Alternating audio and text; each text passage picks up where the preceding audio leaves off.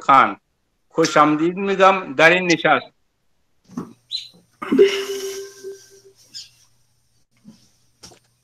खूब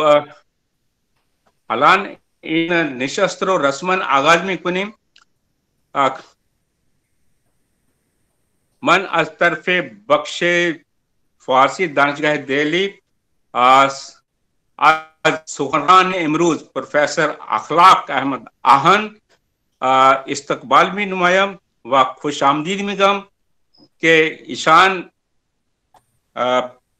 हाजिर शुदंत के बराए माँ सुखन सुखनरानी दरमुर्द सबके खुरासानी इरादे फरमाए।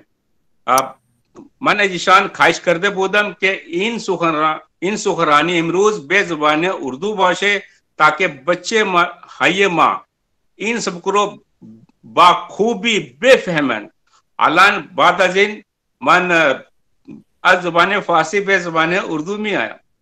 आ, मैं फा, बख्श फारसी दानशगाह दिल्ली की तरफ़ से प्रोफेसर अखलाक अहमद आहन साहब का इस्तकबाल करता हूँ और अपने हमकार और अपने उस्ताद प्रोफेसर बिल्किस फातिमा हुसैनी साहब का इस्तकबाल करता हूँ और इसी तरह से अपने प्रोफेसर अली मुशरफ खान साहब डॉक्टर मेहताब जहान डॉक्टर अली अकबर शाह और ईरान से हमारे साथ डॉक्टर जाबरी, नरगिस जाबरी नसब हमसे जुड़ी हुई हैं, उनका भी मैं इस्तकबाल करता हूँ। सबके खुरासानी का मौजूद इंतखब करने की वजह यह थी कि हमारे यहाँ एम ए के फ़र्स्ट सेमेस्टर में हम सबके खुरासानी से मुतालिक जितने भी शौरा हैं उनका मुताला करते हैं और बच्चों से करवाते हैं। तो मेरी ये कोशिश थी कि जितना भी हमारे निसाब में इस तरह की चीज़ें हम जो इस तरह के मौजू पे दस्त, दस्तरस रखते हैं, उनसे एक एक लेक्चर करवाया जाए ताकि हमारे बच्चे उसे मुस्तफ़ हो सके और हम भी कुछ सीख सके इनसे। तो प्रोफेसर अखलाक अहमद आहन साहब, कोई हमारे लिए एक नई शख्सियत नहीं है, हम सभी उनसे बाखूबी आशना है और वो किसी तारुफ के मोहताज नहीं है, लेकिन एक रस्म है ताकि उनका एक छोटा सा तारुफ करवाया जाए।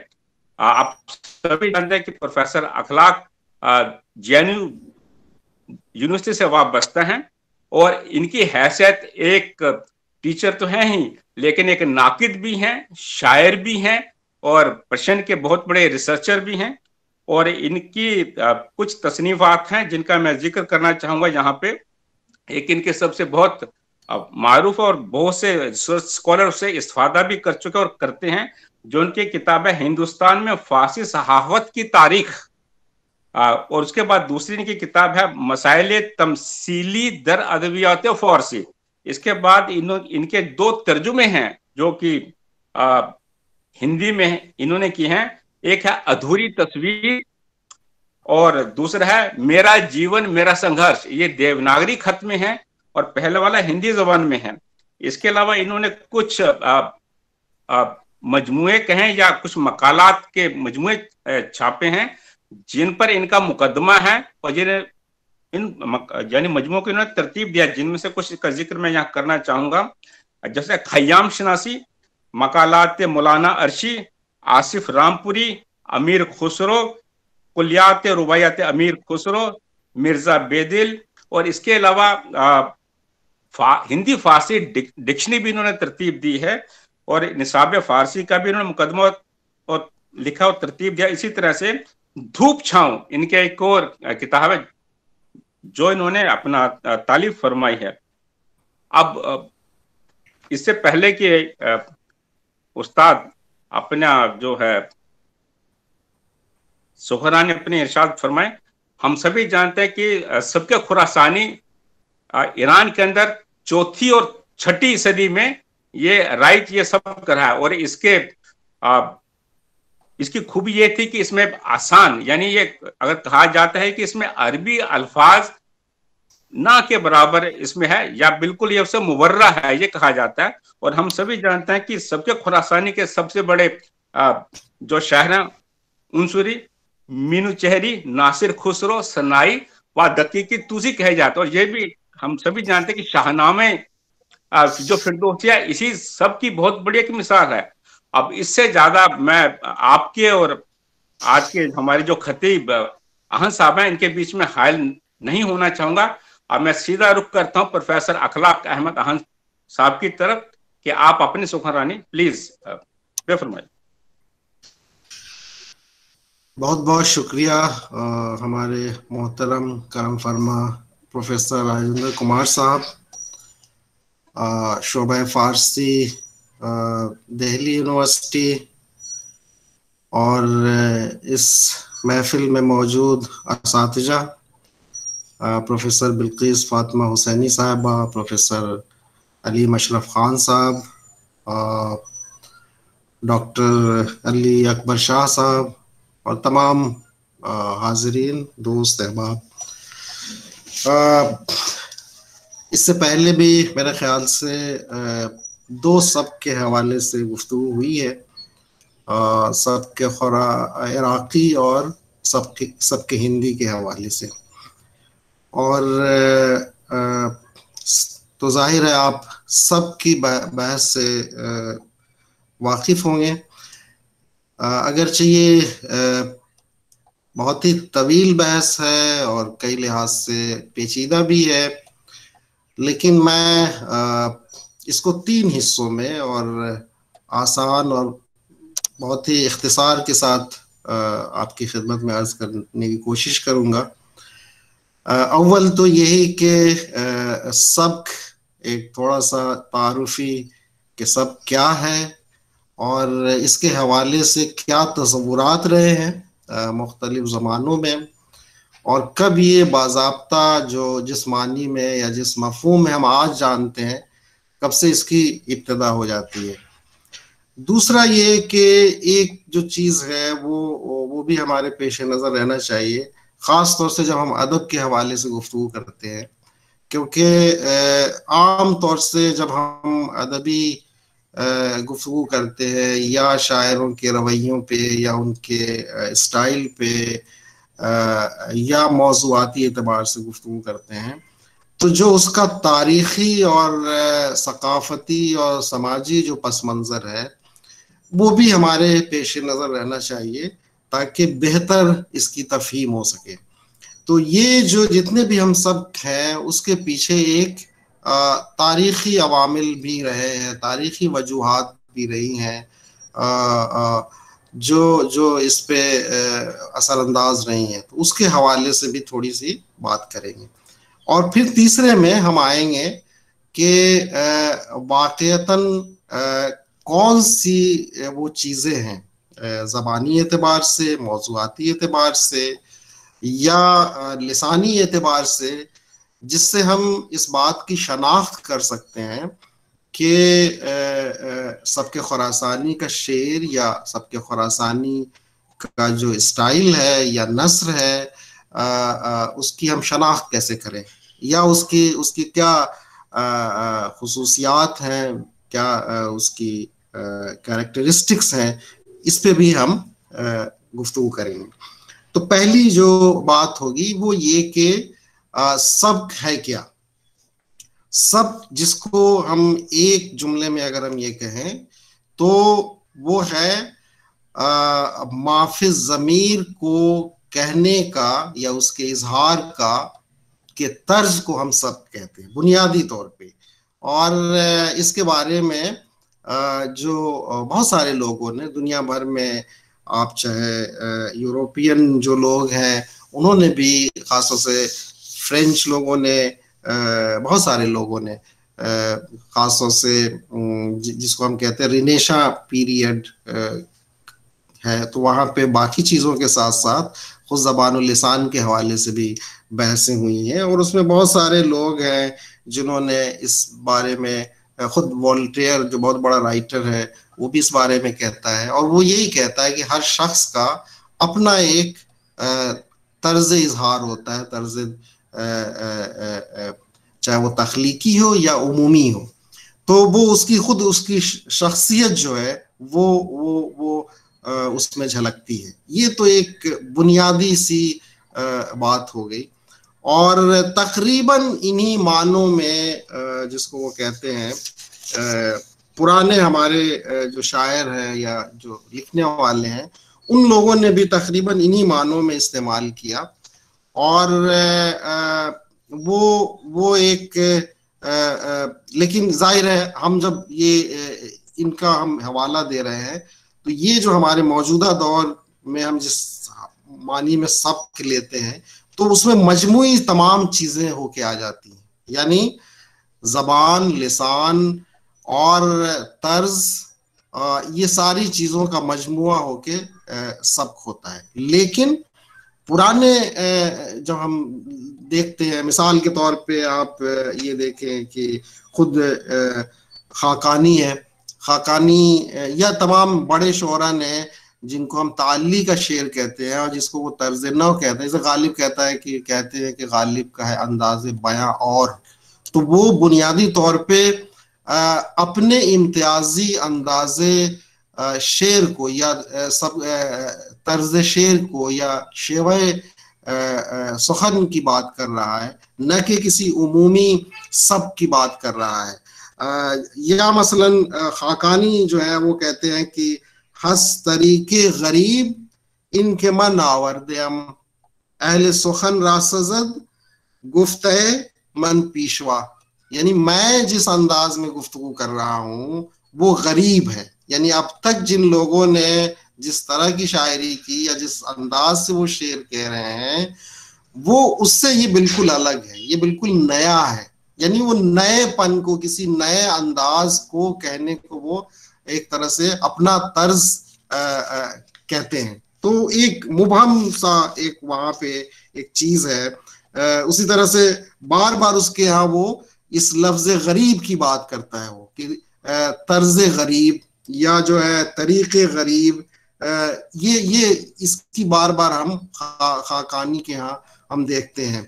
या मसलन आप देखें कि जो शेवा है शेवा शिवय शेर जिसको कहते हैं या शिवय सुखनवरी जिसको कहते हैं हम आज तकरीबन सब के मानी में लेते हैं। लेकिन आप इसी खाकानी के यहाँ आए तो वो अनवाय शेर के माना में लेता है असनाफ शेर के माना में लेता है। ठीक है?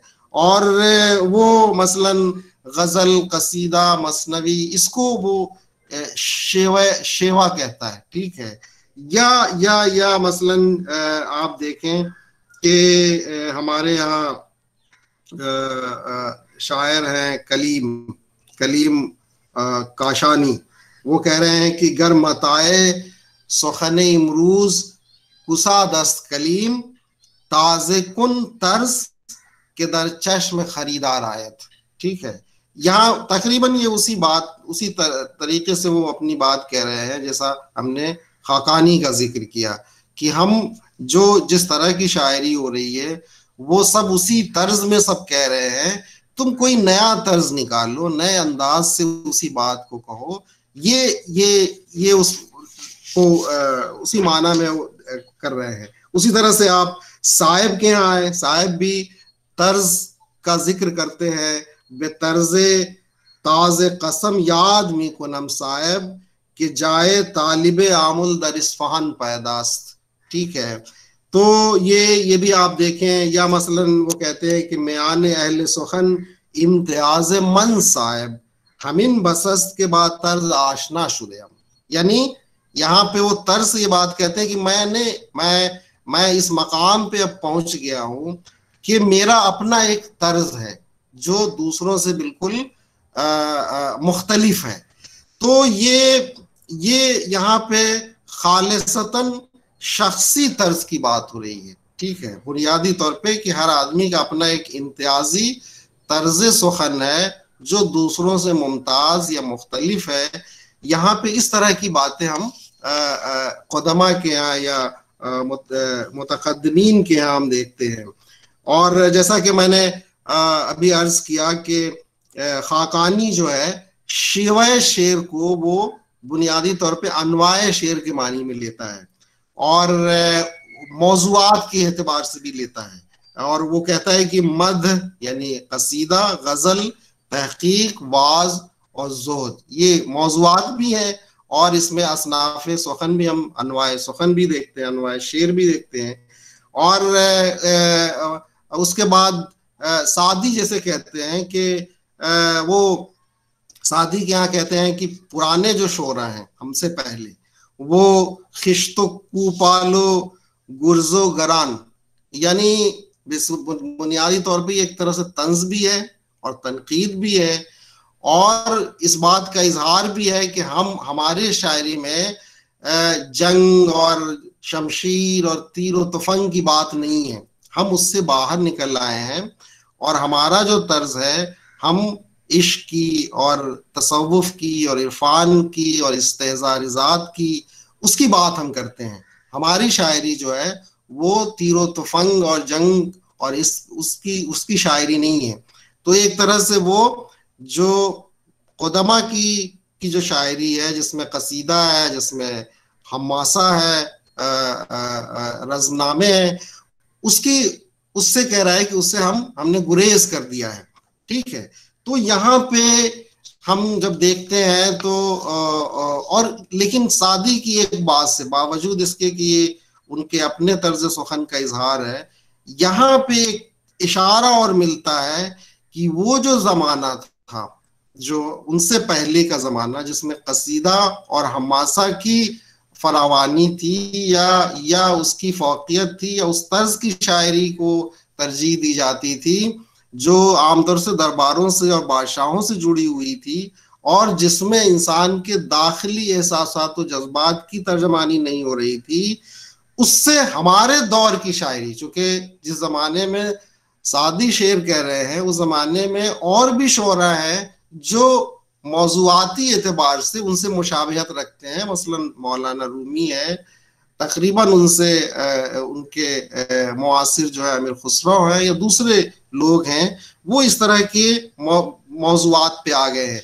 तो यहाँ पे एक तरह से तकरीबन तर्ज से इनकी मुराद जो हम खाकानी का हमने जैसे ज़िक्र किया उनके उनसे अलग होके, बजाय इसके कि ये शख्सी और फर्दी तर्ज की बात कर रहे हो, एक उमूमियत की तरफ़ भी इशारा हो रहा है। तो ये ये तो चीज़ें हुई एक बात मैं और यहाँ पे अर्ज़ करना चाहूँगा। दूसरे के जो बिल्कुल इब्तदाई शायरी है, चूँकि हम जानते हैं कि जिस सबको हम आज पहचान रहे हैं तकरीबन और जान रहे हैं, अगरचे इस पे गुफ्तगु अभी भी तिश्ना है और ये तकरीबन इसकी, इसका सबका जो है सौ साल का है कि जब हम सब की बहस फारसी ज़बान अदब में शुरू हुई है और मेरे ख्याल से 1931 के आसपास जब बहार ने पूरी एक किताब लिखी सब शनासी के नाम पे और पूरी इसकी ये ये इस्तेलाह भी इस्तेमाल किया सब शनासी पहली बार तो उससे पहले जो है इस तरह से इस पे बहसें नहीं हुई थी। अगरचे लोग एक एक उसका उसकी समझ तो रखते थे, जैसा अभी हमने अर्ज़ किया। लेकिन जो बिल्कुल इब्तदाई शायरी है फारसी की, जो जो जो ताहरी दौर है या सफारी दौर है उस दौर में ख़ास तौर से जो तकरीबन सत्तर अस्सी साल का जो दौर है उस ज़माने की शायरी और शरा का कलाम हमें बहुत महदूद रूप में मिलता है।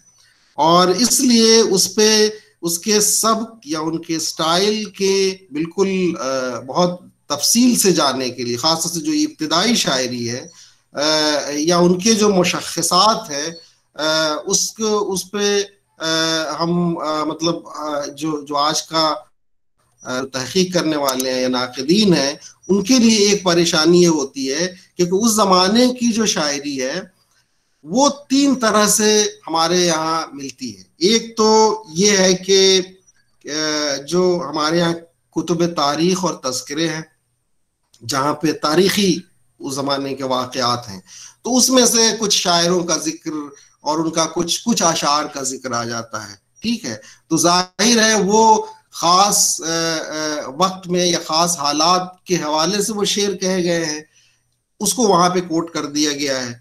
दूसरा है कि जब वो शेरी महासिन का कहीं पे ज़िक्र आ रहा होता है तस्करों में बलागत और बदी का तो उसके हवाले से मिसाल के तौर पे एक आध शेर उन कदमा का ला के पेश कर देते हैं। और इस तरह से या मसलन ये कि किसी किसी शायर का, का एक आध शेर मिला है उसको रख दिया है। इसलिए उन शायरों की जो उमूमी खूबियाँ हैं या उसकी एक शायर की जो पूरी खसूसियत है उसकी शनाख्त करने में मुश्किल होती है। बाद के शायरों का मसलन सामानी दौर के और ख़ास तौर से रूदकी वगैरह का कलाम हमें ज़्यादा दस्तियाब है तो उस बिना पे जब भी हम ख़ास तौर से सबके खुरासानी के हवाले से भी जब गुफ्तु करते हैं तो हमारे पेश नज़र इन्हीं शायरों का कलाम ज़्यादा होता है। तो ये भी एक मसला है जिसकी वजह से आ, आ, उन शायरों की के कलाम की खूबियों उनकी उनके मुशखसात उनकी खसूसियात तक हमारी रसाई आ, कुछ कम रहती है। दूसरा पहलू जो है वो है कि कोई सबक बनता कैसे है? आ, उसके पीछे जो तारीखी अवामिल होते हैं जो सकाफती और समाजी अवामिल होते हैं वो भी हमारे पेश नज़र रहना चाहिए। हम जिसको खुरासानी कहते हैं या उसके बाद इराकी कहते हैं या उसके बाद हिंदी कहते हैं तो उसके उसके पीछे भी एक तारीख है और उसके अवामिल हैं कि क्यों हम उसको खुरासानी कहते हैं और क्यों दूसरे को इराकी कहते हैं और क्यों तीसरे को हिंदी कहते हैं। खुरासान जो जो तारीखी एतबार से जो इलाका है, वो किसी खास मुल्क का या कोई पॉलिटिकल जोग्राफिया नहीं है, बल्कि एक सकाफती जोग्राफिया या तहजीबी जोग्राफिया है। और वो आप देखें तो उसकी जो शुरुआत होती है कि अरबों के आने के 200 साल के बाद आप देखें कि एक तरह का पॉलिटिकल या सियासी कशमकश अरबों के दरमियान और जो अहले फारसी हैं, अहले ईरान हैं, उनके दरमियान शुरू होती है। और उस जमाने में कई सारी, एक तरह से हम आज की इस्तेलाह में अगर हम कहें तो सियासी और सकाफती तहरीकें भी चल रही हैं, जिसमें शौबिया तहरीक है, उससे हम वाकिफ हैं।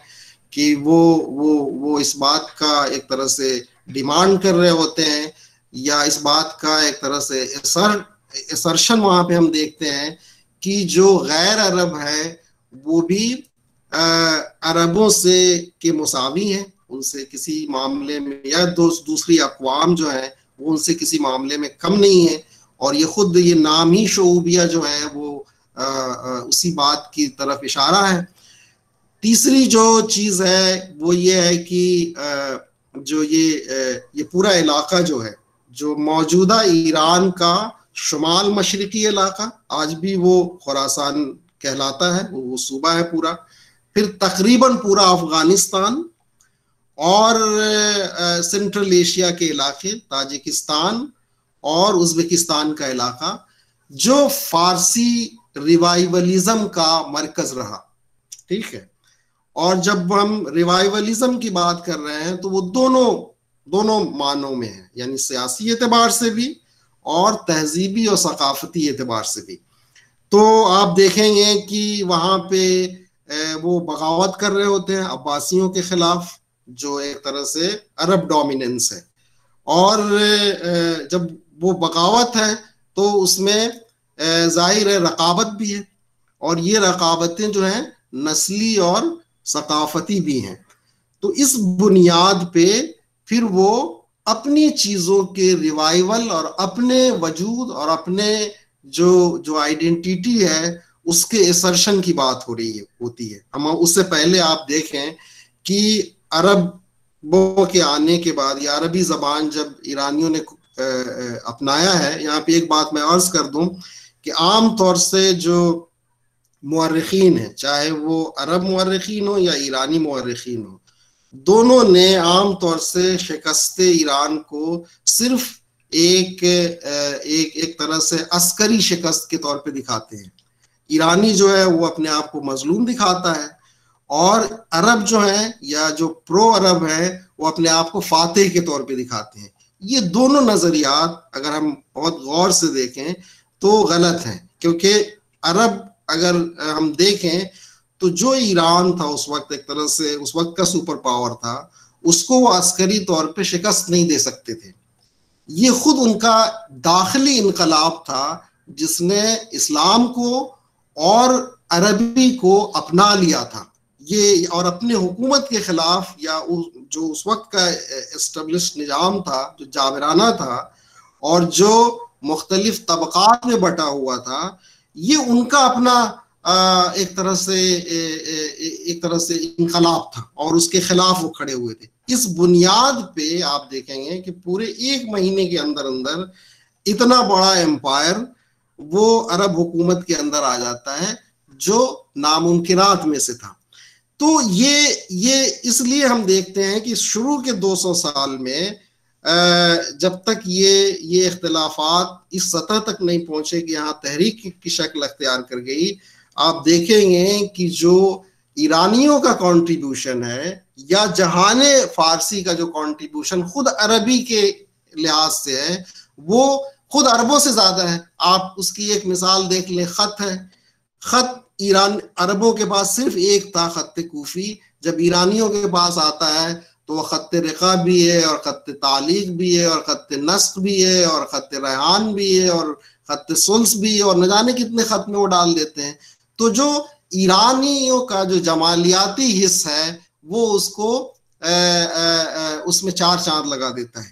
उसी तरह से आप अहादीस की उलूम में देखें या अरबी जबान की खुद के हवाले से देखें कि इब्न मुकफ़ा फ़र्स्ट जनरेशन अरबी दाँ है, और उसने जिस किताब का तर्जमा किया, वो आज भी तमाम अरबी दुनिया में पढ़ाई जाती है।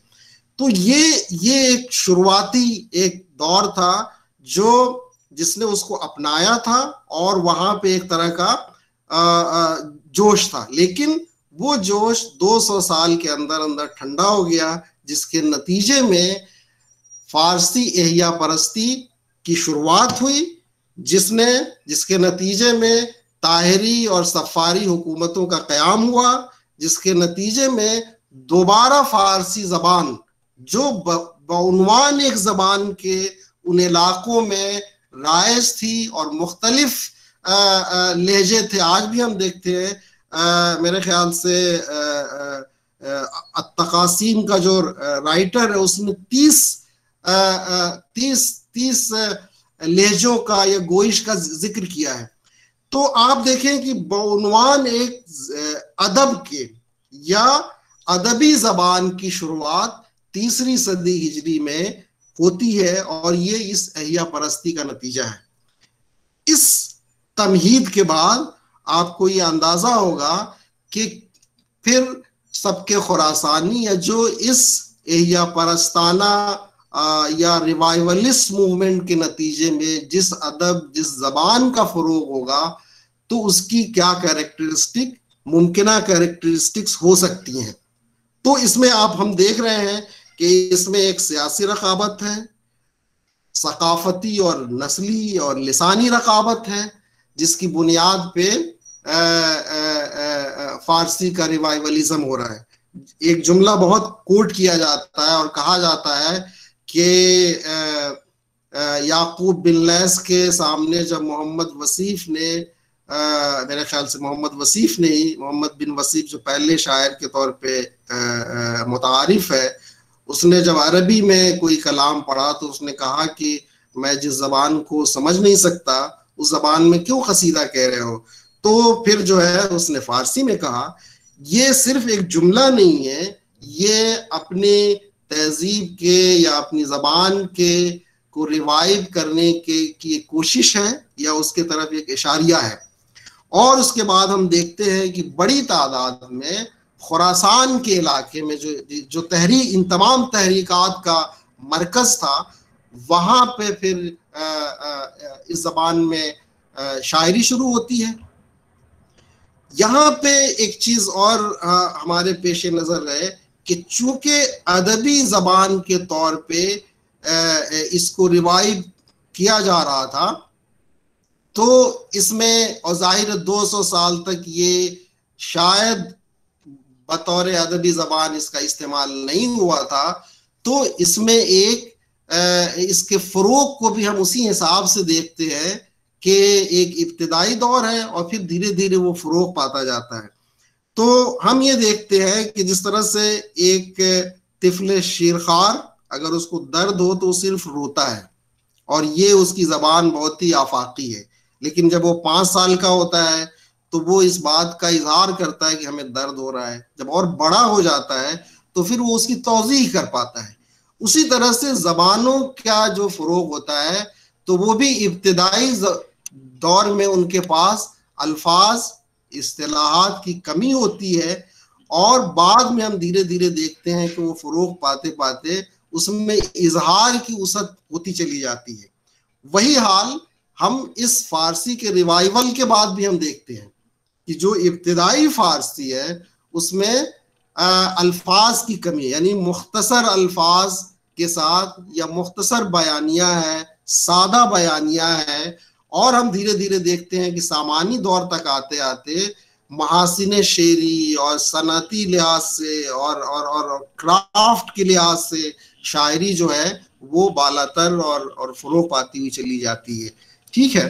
तो ये ये ये चीज़ें हैं और, इसके बाद मैं आपको मिसाल के तौर पे बताना चाहूँगा, आपकी खिदमत में अर्ज़ करना चाहूँगा कि क्या क्या खूबियाँ हैं जो सबके खुरासानी की हैं। पहली बात तो यही है कि जैसा कि मैंने अभी अर्ज़ किया कि चूँकि ये रिवाइवलिज्म के नतीजे में ये ज़बान आई थी और ये इस सब की शुरुआत हुई थी या फारसी शायरी की शुरुआत हुई थी तो ज़ाहिर है इसमें ज़िद्द अरब एक एक उनसुर था। और वो ज़िद्द अरब सिर्फ़ निजादी या सियासी तौर पे नहीं था बल्कि लसानी तौर पे भी था। इसलिए हम इब्तदाई इस दौर के जिन शो, जो शोरा हैं उनके यहाँ एक तरह से आमदन एहतराज मिलता है एक गुरेज मिलता है अरबी असलाहत और अरबी अल्फाज के इस्तेमाल से। ठीक है? अरबी तलमीहात से। और वो जानबूझ के कोशिश ये करते हैं कि जो असील पहलवी या फारसी अल्फाज हैं, उनका इस्तेमाल करें, ज़ाहिर है। और चूँकि उसके असलाहत की वो है तो उसको उसको फिर बाद में उसको डेवलप करते चले जाते हैं। और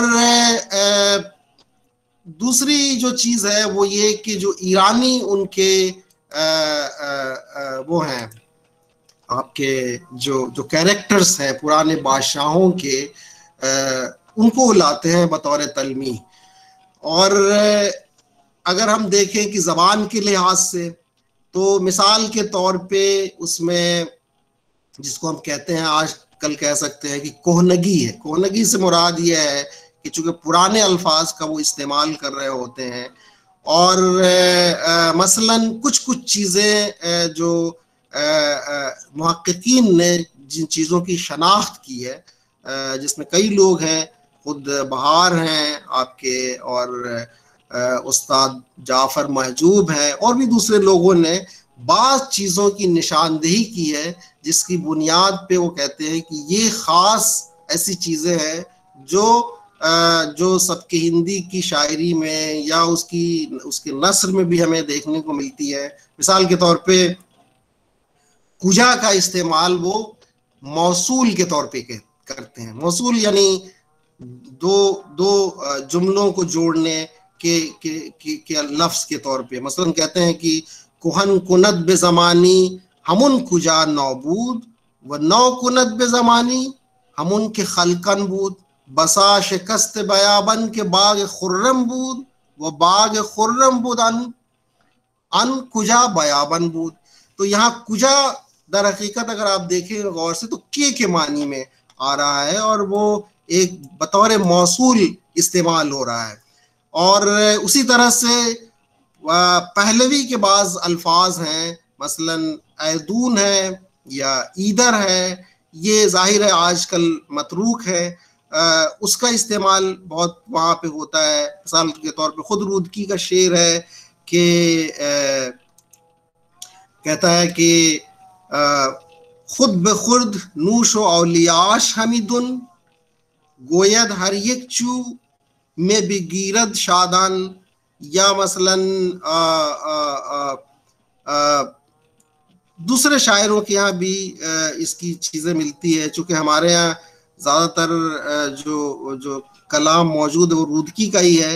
अबू शकूर बल्खू बल्खी क्या है कि दुश्मन गरीदुन के याबी शकर गुमान बर के जहरस हरगिज मखर। तो ये ये चीज़ें हम आ, आ, देखते हैं। उसी तरह से एक चीज़ और उनके यहाँ मिलता है। आ, वो है पुराने पहलवी अल्फाज।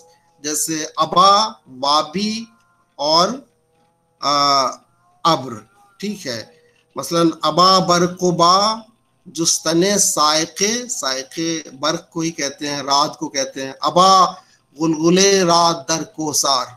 तो ये जो अल्फाज हैं जो अब ज़ाहिर है मतरूक हो चुके हैं वो वो आ, आ, उनके यहाँ इस्तेमाल होता है। उसी तरह से अलिफ इतलाक, यानी किसी भी लफ्ज़ के आखिर में एक इजाफी अलिफ कर देना। ये भी उनके यहाँ हम देखते हैं। मसलन दोबारा रुदकी का एक शेर है चुनन के अश्तर बीबद सुए, कुनाम शुदे, जे मकर रू बहो जागो, जे गर्ग बेखबरा। अब यहाँ बेखबरा में जो अलिफ का इजाफा है, वो बुनियादी तौर पे ये अलिफ इतलाकी है जो सबके खुरासानी के अशार में बहुत मिलता है। मसलन असर मी न खानम के बे, के बेमान बे जहान मीर खाहम के बौद मानद बे जाए असरा। और इस तरह से बहुत सारी मिसालें हमारे यहाँ जो जो सबके खुरासानी के शरा हैं। मसलन बयामोज हर चंद बेतवानिया, मगर खेशतन, शाद, गिरानिया। अब उर्दू में भी हम इस तरह की मिसालें देखते हैं कि जो इब्तदाई है, मसलन अबुल हसन की जो शायरी है, सहरुल बयान तो उसमें आप देखेंगे कि वो कहते हैं कि इधर से उधर आतियाँ, जातियाँ, सभी अपने जोबन पे इतरातियाँ अब ये जो जमा बनाने का जो तरीका है ये इब्तदाई शक्लें हैं। उसी इस किस्म की बातें हम आ, आ, फारसी में भी हमारे यहाँ नज़र आती है। और उसी तरह से हरफ अतफ को आ, जो है शुरू करना उस या उससे जो है किसी शेर का या मिसरे का शुरू करना जैसे हरफ अतफ यानी जोड़ने के जो हरूफ होते हैं वाव मसलन या हमन वो वो भी सबके खुरासानी के शरा के यहाँ बहुत दिखाई देता है। मसलन, तवंगर बरू आफरिन सालोमा, व दरवीश नफरिन बरू बेगुना। यहाँ पे आप देखते हैं कि व दरवीश नफरिन, बरू बेगुना। अगरचे इस तरह की चीज़ें हमें बाद की शायरी में भी नज़र आती है, लेकिन वहाँ पे आप देखेंगे कि एक तरह से ऐसा लगता है कि जैसे वो मिसरों को जोड़ने के लिए वाव का इस्तेमाल कर रहे हैं। मसलन ये कि हम उनके दरमन बाशद बजाय बजाय दर्द शवद, हम उनके बाज दर्द, हम उन कज नखुस दरमन बूद। कुहन कुनत बे जमानी, हम कुजा नौबूद व नौ कुनत बे जमानी, हम उनके खलकन बूद।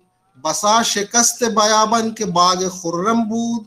व बाग खुर्रम बूद अन कुशा बयाबन बूद। अब देख रहे हैं हर दूसरे मिसरे में वाव से इसकी शुरुआत हो रही है। तो आ, आ, ये जो है हरफ अतफ वो हर मिसरे के शुरू में आ, जोड़ने के बतौर जब इस्तेमाल कर रहे हैं तो ये भी एक तरह से उस जमाने की जो है सबके खुरासानी में इसका इसका एक तरह से ज़्यादा इस्तेमाल हमें देखने को मिलता है। उसी तरह से खारिज वज़न या जो है ऐसी जो नामानूस औजान है वो वो भी हमारे, हम देखते हैं इसमें सबके खुरासा, खुरासानी में। अगरचे ये चीज़ हमें सबके हिंदी में भी दिखाई देती है, खुद बेदिल के यहाँ दिखाई देती है कि जो हिंदुस्तानी छंद सिस्टम है, उससे वो मुतासर है। अब ये देखने की चीज़ है कि सबके खुरासानी में जो ये गरीब या नामानूस जो औजान है, वो उसका कोई ताल्लुक इस खत्ते से तो नहीं है। ये मेरे ख्याल से एक तहकीक तलब नुकता है जो देखने की जिसकी ज़रूरत है। उसी तरह से और भी बहुत सारी खूबियाँ हैं। मसलन आप देखेंगे कि बहुत सारे अल्फाज हैं, जैसे जहत के लिए। अब हम जो आजकल फ़ारसी में इस्तेमाल करते हैं कि जैसे खावरान, खावर मगरिब को बाख्तर, या जो है मशरक को खूरबरान या खूरबरान तो ये इस तरह के अल्फाज भी वहाँ पे हमें देखने को मिलता है। उसी तरह से आप देखें कि जैसे तकरार जुमले और कलमे बहुत है। और ये इस बात की अलामत है कि खुद वो चूँकि इब्तदाई ज़बान है, और जब ज़बान अपने इब्तदाई मरले में होती है तो वहाँ अल्फाज की कमी है। जैसे आज का शायर अगर कोई शेर कहता है या कोई गज़ल कहता है तो वो इस बात की कोशिश करता है कि उस गज़ल में उस लफ्ज़ का दोबारा तकरार ना हो। लेकिन आप जब इब्तदाई शायरों के यहाँ देखेंगे तो एक लफ्ज़ का बार बार तकरार मिलता है। आ, या ये कि कोशिश वो ये करते हैं अगर कोई बड़ा शायर है तो वो ये कोशिश करता है कि उस लफ्ज़ को दूसरे माना में इस्तेमाल करे। ये चीज़ हमें बड़े शायरों के यहाँ भी मिलती है कि एक जैसे मिसाल के तौर पे बेदिल है। बेदिल के यहाँ हज़ारों बार आईने, आईना लफ्ज़ का इस्तेमाल होता है। लेकिन हर बार वो अलग अलग मीनिंग में या उसको एक नया मानवी जामा पहनाते हैं। लेकिन यहाँ पे चूँकि बिल्कुल इब्तदाई चीज़ है, मसलन थोड़ा अगर मुल्क चीनियन बेदीदी रू नमाज़ कर दी, वो दीनार रा पराकंदी तुरा अगर मुल्क हिंदुअन बेदीदी रू सुजूद कर दी वो बुतखानश बरकंदी। अब यहाँ पे आप देखें कि अल्फाज एक ही लफ्ज़ बेदीदी जो है या कर दी या मसलन आ, आ, मुल्क तो इस तरह से वो एक ही लफ्ज़ का इस्तेमाल बार बार एक ही शेर के दूसरे मुख्तलिफ़ अबियात में हम देख रहे हैं। जो जो, बल्कि खुरासानी दौर के भी बिल्कुल इब्तदाई ये ये ये ये अंदाज है। जो बाद के अशार में या बाद के ज़माने में ख़ुद सबके खुरासानी के जो बाद का ज़माना है, उसमें हमें जो गजनवी पीरियड है, जब शायरी बहुत उरूज कर जाती है तो हमें नहीं दिखाई देती इस तरह की चीज़। उसी तरह से आप देखेंगे कि ख़ुद जो मसादिर हैं, मसादिर में भी हम देखते हैं कि बाद में मसादिर का इख्तरा होता है और बहुत सारे मसादिर जो है जाली भी गढ़े जाते हैं। लेकिन इब्तदाई में बहुत सारे अल्फाज के साथ वो करदन जोड़ के वो मसदर का इस्तेमाल करते हैं। मसलन खुद ही जैसे लफ्ज़ हरब करदन वो कहते हैं।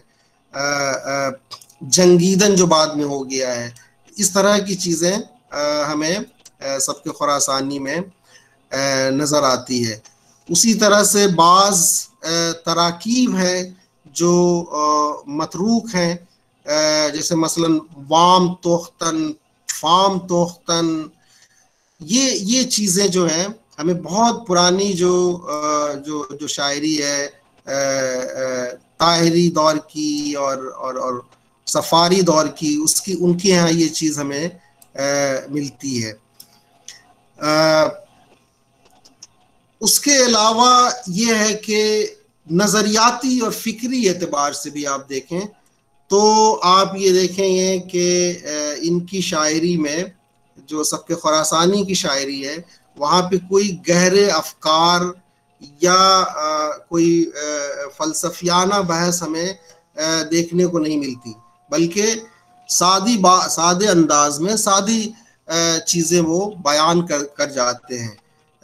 यहाँ तक के चूँकि हमने जैसा कि अर्ज़ किया कि चूँकि अरबों से भी वो एक तरह से गुरेज करते हैं अरब शायरी और अरबी माखिज से तो वो उनके यहाँ जो आम जज्बात हैं आम एहसास हैं वो उसको बयान कर कर देते हैं। तो ये ये चीज़ें हैं। एक चीज़ और हमें जैसे देखने को मिलती है कि जैसे ज़मीर जो है शीन, जैसे शीन जो है, उसके लिए थर्ड पर्सन के लिए हम इस्तेमाल करते हैं। और ते सेकेंड और मीम फ़र्स्ट पर्सन के लिए। लेकिन वो जैसे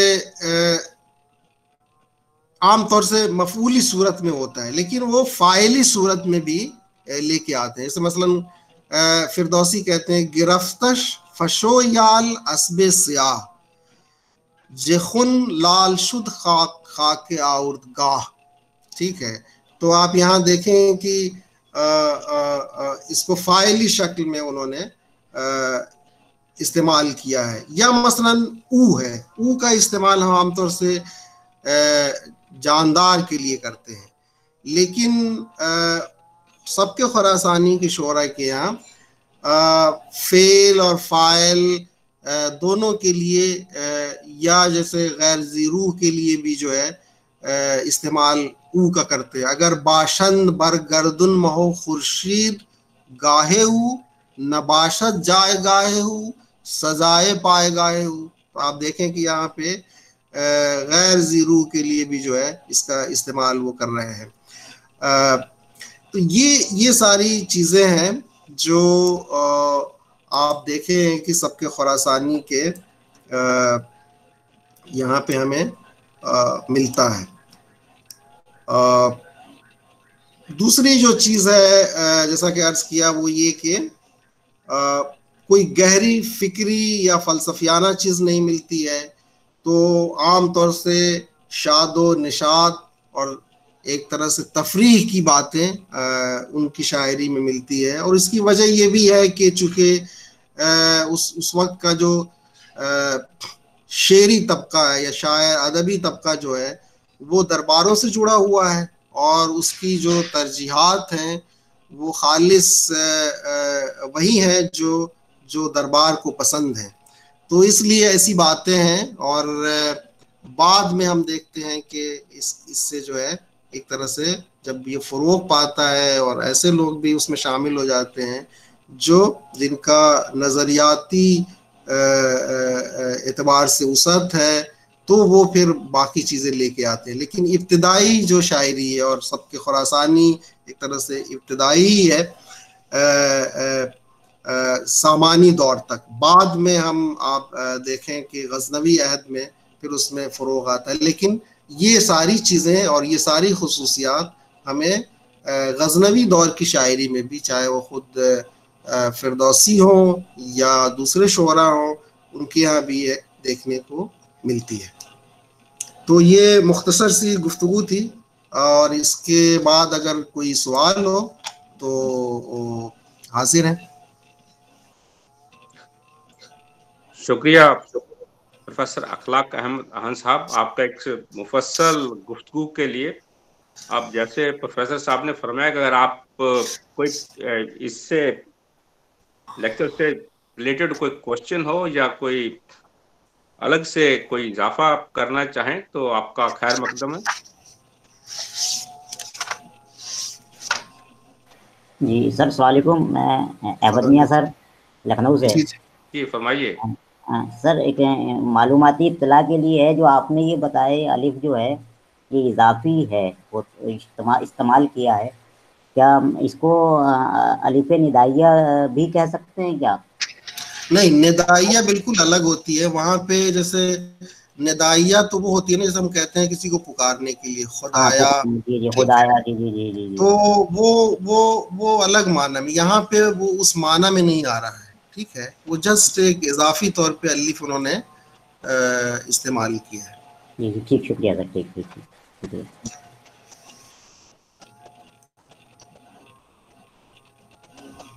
जी कोई और? अस्सलाम वालेकुम सर। मैं आ, एक चीज़ छोटा सा सवाल है मेरा सर।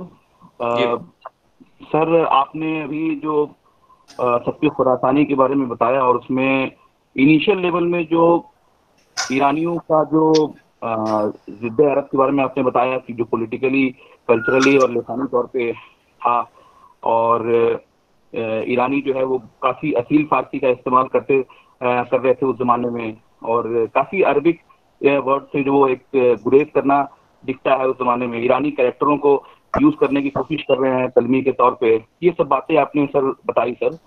सर, मैं ये जानना चाहता हूँ, मेरा सवाल ये है, सर, कि क्या इसको नेशनलिज्म के तौर पे देखना सही होगा, या फिर ये लोग जो ईरानी हैं, यानी जो सब उस एरिया के, उस टाइम के, इनके अंदर ये कॉन्फिडेंस पॉलिटिकली स्ट्रांग और जोग्राफिकली स्ट्रांग होने की वजह से है, या ये एक नेशनलिज्म के पार्ट पे देखा जाएगा इसको? मतलब मैं समझता हूँ, सर, कि ये पोलिटिकली काफ़ी स्ट्रांग उस जमाने में है और जोग्राफिकली स्ट्रांग है। क्या ये सोचना सही है या नहीं सर? ये मैं जानना चाहता हूँ। मैं तो वही दूसरे हिस्से में मैंने यही बात कही कि ये एहिया परस्ताना जो उस वक्त मूवमेंट्स थे, जिसके नतीजे में ताहरी हुकूमत का क़्याम हुआ, उसी के नतीजे में सफारी हुकूमत का क़्याम हुआ और उसी का एक्सटेंशन जो है वो सामानी दौर है। ठीक है? तो ये तो खालिसता एक नेशनलिस्ट एहिया परस्त रिवाइवलिस्ट मूवमेंट था और उसके नतीजे में फारसी ज़बान व अदब और शायरी का भी फ़रोग हुआ। ये तो है ही ये तो मेरी गुफ्तु का हिस्सा ही था। बिल्कुल सही है यही बात। मन सवाल दाराम बाले बाले, सलाम उस्ताद हाल शुमा खूब है।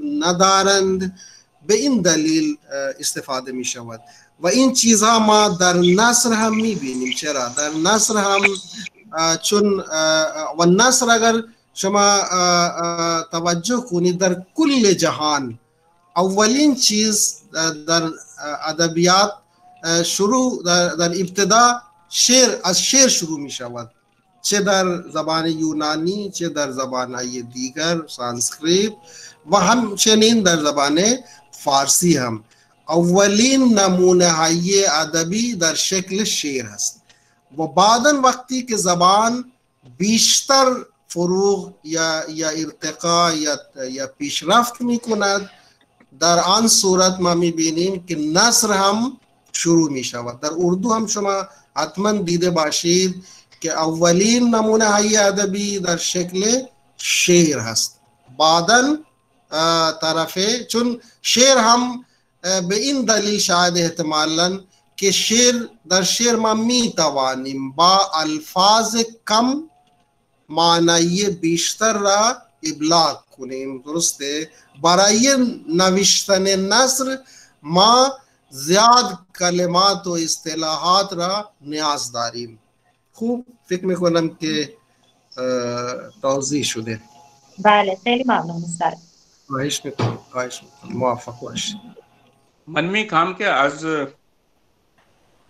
इन खानों में रिफत के चीज़ें पुसीदन खानों दर दौरे औरंगज़ेब ये तंज तंज निगार बुज़ुर्ग हजूर दाश्ते इसमश बुदे नेमत खौने औली।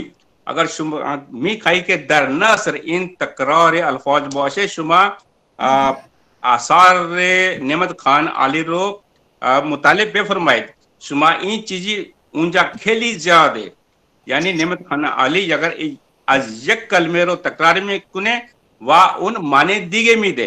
खूब अलन यादमी आयद के दर हिंदी। यानी दर ये मिसरे, ये वाजिरो तकरार शुदे अमा माने दिगे मी दे। अलन ये ये शेरी जबान हिंदी यादमी आयत अलन शायद शुमा हिंदी रो बलद हस्ती। गुश बेदी कनक कनक ते सो गुनी मादकता अधिकाए।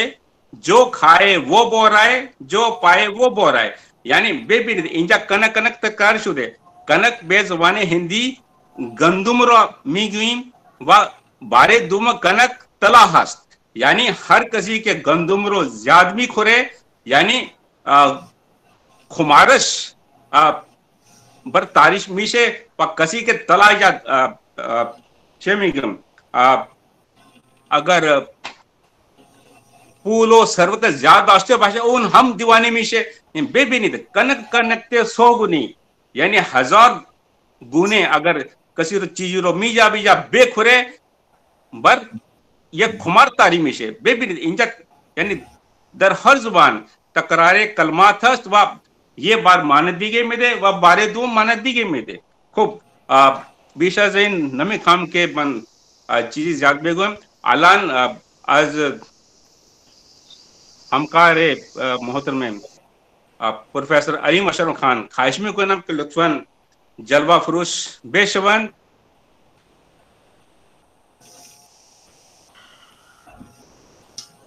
हाँ मन हमेंजा बूढ़े हम जाई ना रास्ते बूढ़ा हमेंजा बूढ़ा घूस भी कर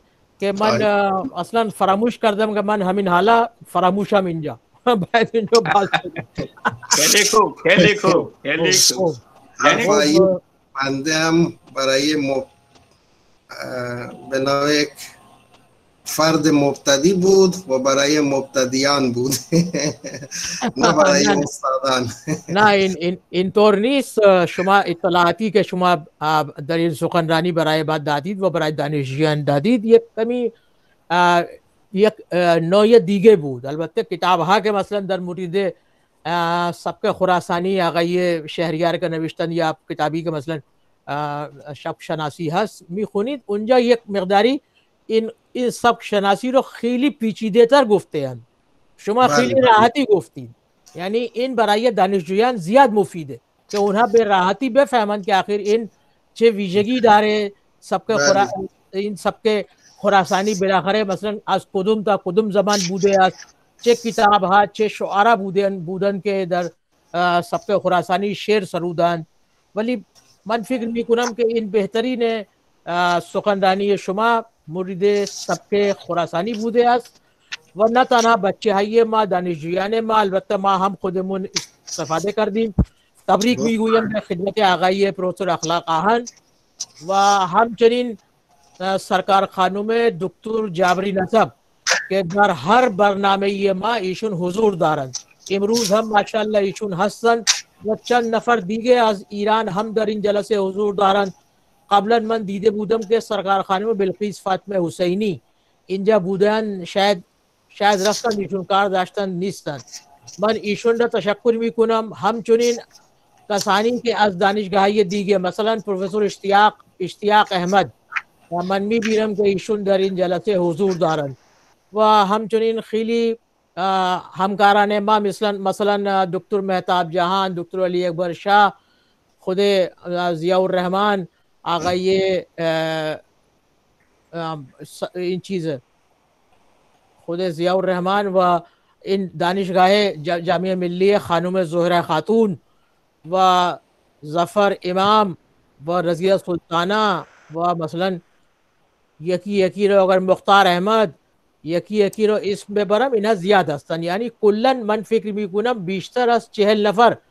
दर इन सुखन रानी शिरकत नमूद अंद इन खुदश, इन शिरकत चहल दानिशजू व असातीद मसला खुद नशून विदात के इन सुखन रानी चकद मकबूल बूदे अस, व चकद बच्चे व असातीद मा इस्तफ़ादे कर दे अंद मन तशक्र गुनम बे आगाइए प्रोफेसर राजेंद्र कुमार के ईशुन बरनामे हाइए पैदर पे मुतल सेमिनार व वेबिनार व गुफ्तु ये वी जे ई व ये सुखनदानी वी जे ई रो बरगुजार मिकुनन के माँ हम बा बख्श फारसी व बा मसलन इल्म व अदब व तश्न नमी मोनीम यानी चीज़ या चीज़ हारो याद मी गिरी।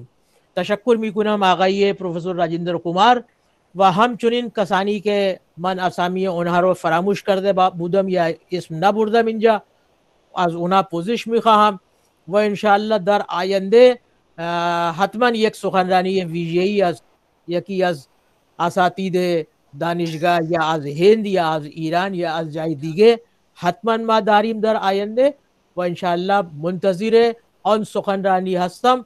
व खिली तशक्र में कुनम जनाब उस्ताद, अखलाक आहन।